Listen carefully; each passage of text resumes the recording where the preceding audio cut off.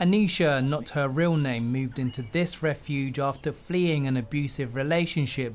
She says she was exploited financially, physically, and emotionally, leaving her afraid to even leave the house.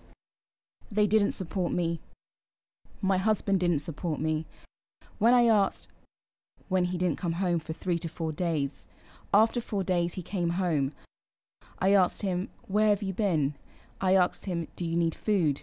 He pushed me. He abused me. His parents didn't support me. They supported their son.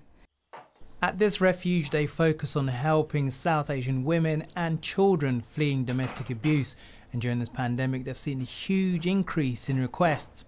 Between staff, we've been managing those calls, managing those referrals, um, and you know the ones that we haven't been able to support, we have been signposting them, giving out the relevant national helpline numbers for them to access that support.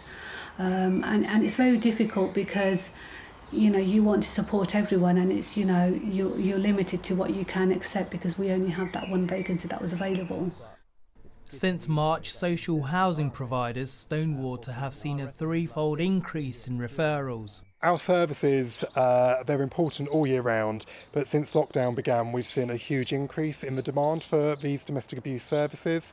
Uh, we've had over 30 referrals alone for just four vacant spaces throughout March and April. Uh, so that's really demonstrating that there's there's huge demand for this kind of service.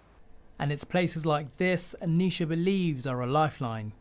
This place is very important for us because if this place wasn't here, our in laws would threaten us. They'll send us to Pakistan because they didn't respect us and kicked us out.